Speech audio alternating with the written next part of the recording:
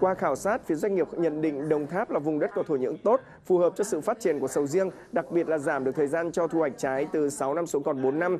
Đồng thời cho rằng sầu riêng Đồng Tháp sẽ phát triển mạnh trong 2 năm tới. Đồng Tháp hiện có hơn 2.400 hecta trồng sầu riêng, trong đó có đến 38 vùng trồng đăng ký cấp mã số xuất khẩu.